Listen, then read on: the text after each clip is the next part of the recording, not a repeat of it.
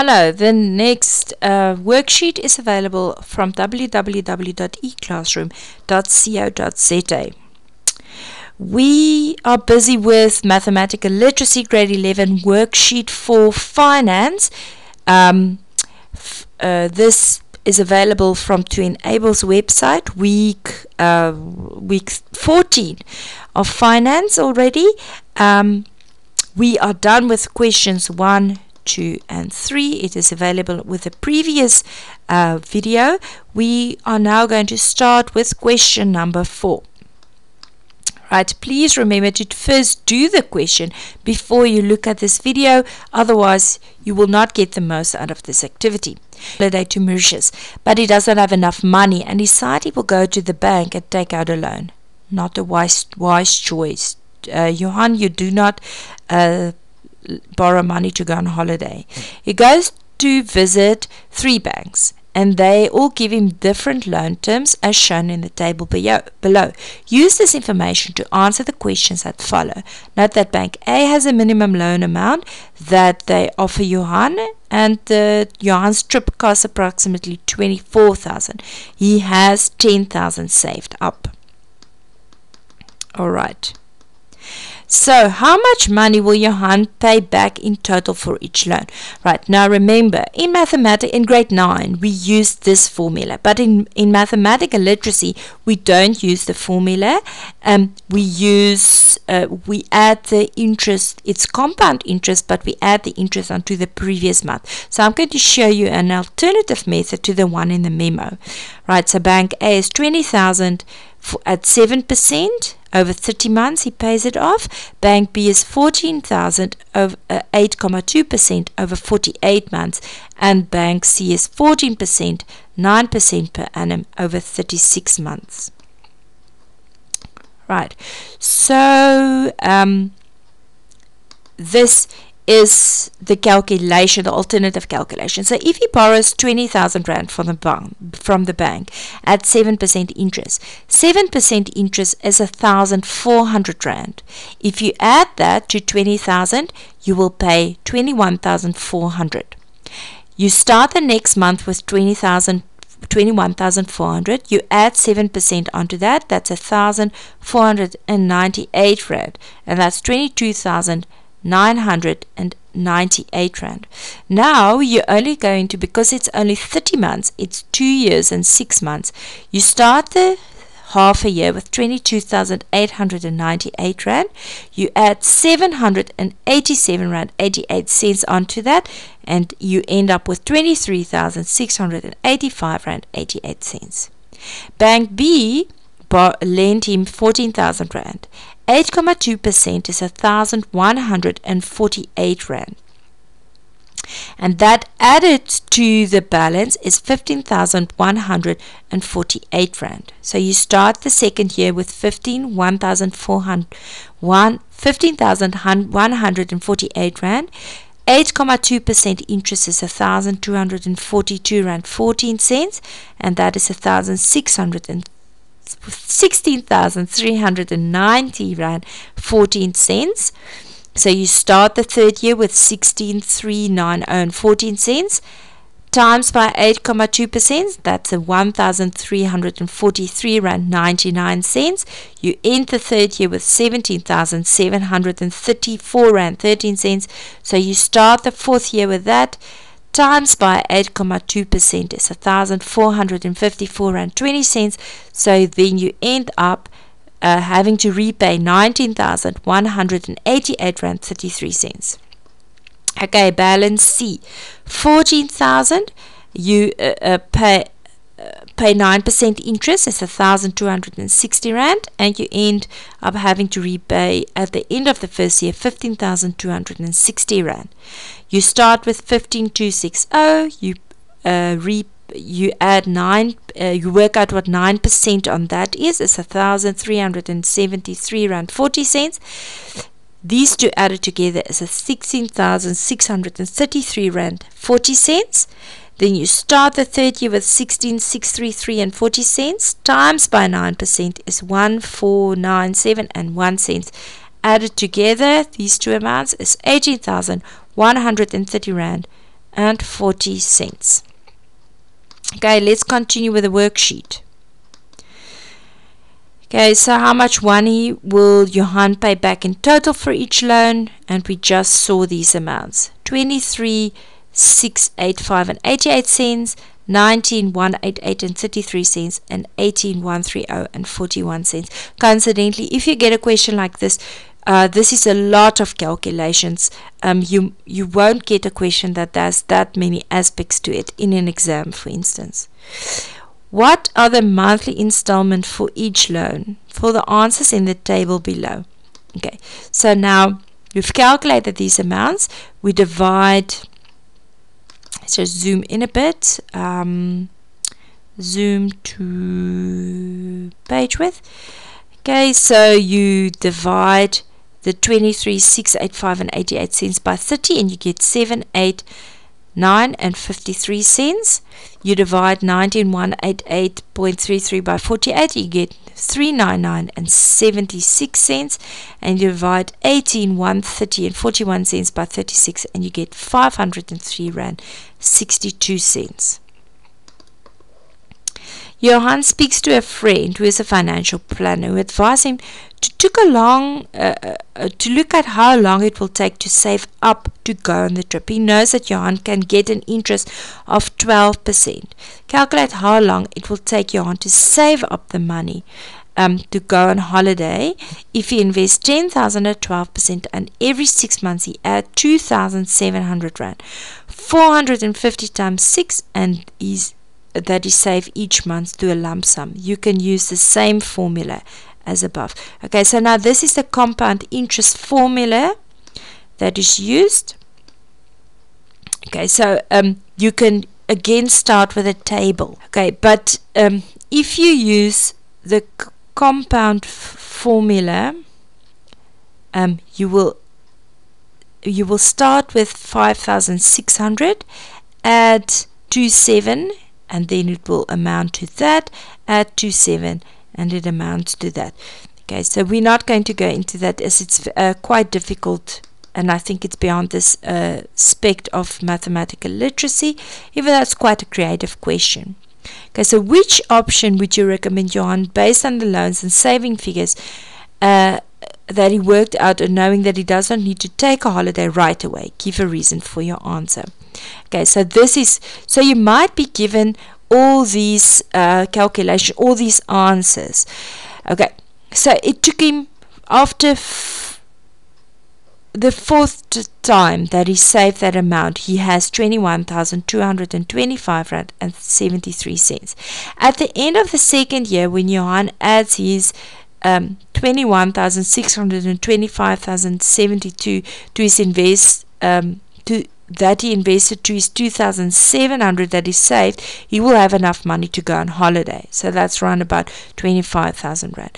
So it's um, that's the fifth. So I would recommend that Johan should save up for two years and then go on a holiday because he started with 10,000 Rand and you will only have to save 450 Rand per month for 24 months, which means he would only spend 20,800 on total in his holiday.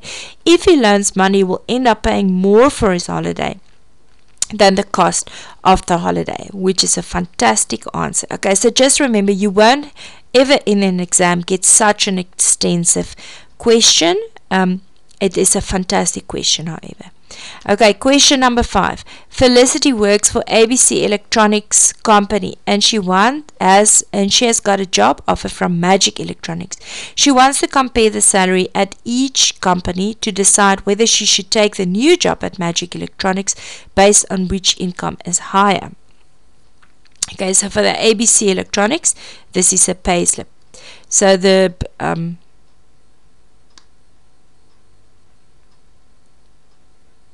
uh, gross salary is 20,000, overtime pay is 2,500, total pay is 22,500. The medical aid allowance is 2130 it's 5% of her salary, and she also receives a travel allowance of 2850, which amounts to 5980. The deductions is the medical aid, a retirement fund is 1250 and the tax amount is 3699 and 25 cents. So that is 6000 319.25 cents. The total amount payable to the employer is 16,180.75 cents. Um, Magic Electronics uh, offer Felicity a total package of 29,000 per month. CTC means that this amount um, is the amount that the employee will get paid before the tax. She will still will still pay the same total amount for medical aid and retirement fund. Calculate how much tax Felicity would pay if she worked at Electronics if she was taxed at 19%. Okay, so let's look at the memo. 29,000 times 19% is 5510. Uh, calculate how much ABC Electronics contributes to Felicity, Felicity's retirement fund each month. Okay, so it's a gross salary times 5%, so it's 20,000 times 5%, and that's a thousand. Calculate uh, what is the total cost of Felicity's medical aid. So it's what the company contributes plus what she contributes, so that's 3,500 Rand. Calculate um, the total cost of Felicity's retirement fund. So it's a thousand plus a thousand two hundred and fifty, and that is two thousand two hundred and fifty.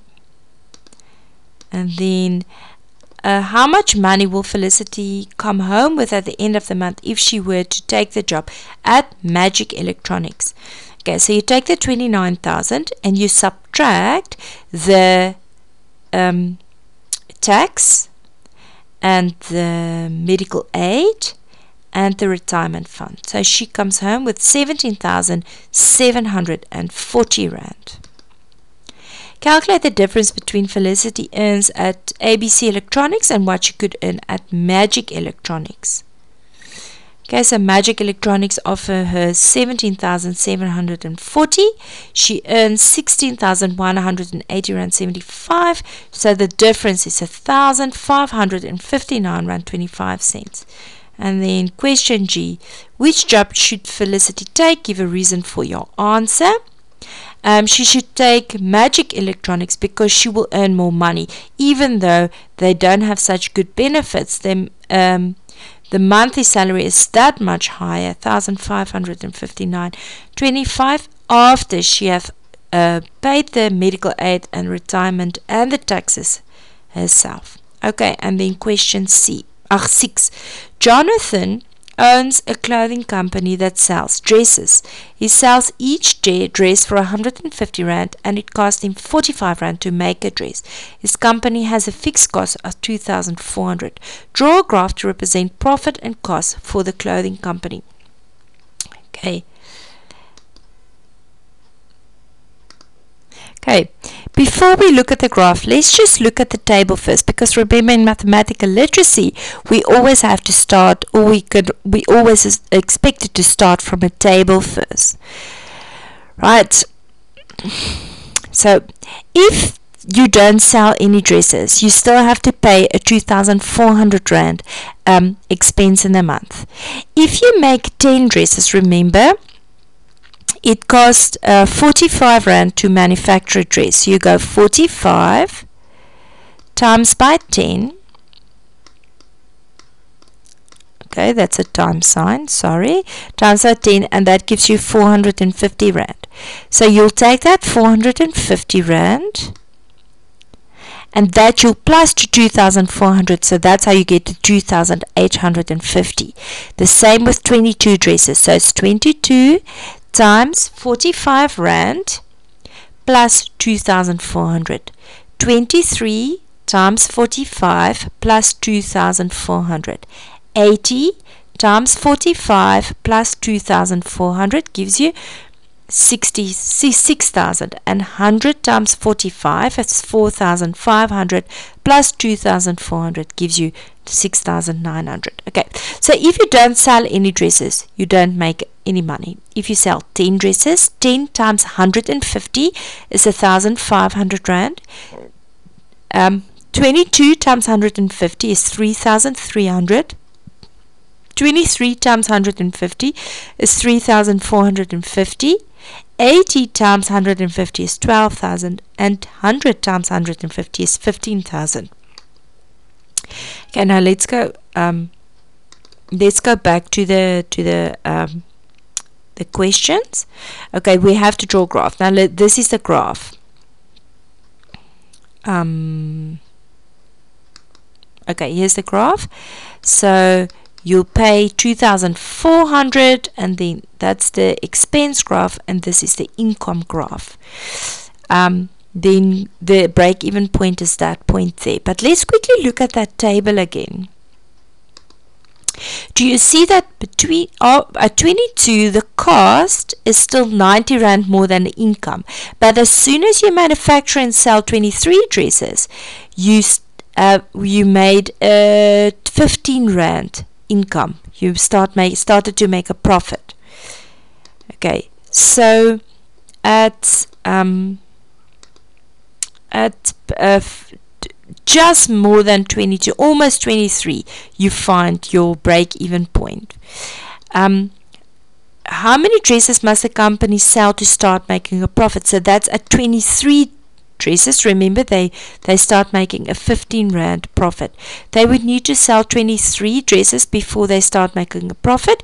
You cannot sell a part of a dress. Okay, so even very small dresses still be considered a whole dress. Calculate how much income the, the company will earn if they sold 100 dresses in one month. Now let's, you can read it from the graph or you can calculate it, read it from your table. So at 100 dresses is 6,900 Rand is the cost and the income is 15,000 Rand. So 15,000 minus 6,900 sorry, the income is, is 1,500 Rand.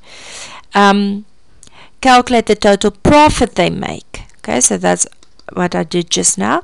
So it's 15,000 minus the expense, which was uh, what did I say? 6,900. So that's 8,100 Rand profit if they sell 100 dresses. Then question if Jonathan gets an order from a company in the United States, they order 80 dresses at 150 Rand each. If the Rand is 10 Rand and 2 cents to the do dollar, how much will the order be worth in dollars? Okay, so 80 dresses times 150 Rand is 12,000 Rand. If you take the 12,000 Rand and you divide it by 10 Rand and 2 cents. It's a 1197 Rand 60 cents. We will get to exchange rate later on in grade 11. Then this question F might more, make more sense for you. But that is the end of the worksheet. Thank you very much. It's also the end of finance and uh, good luck with the test tomorrow.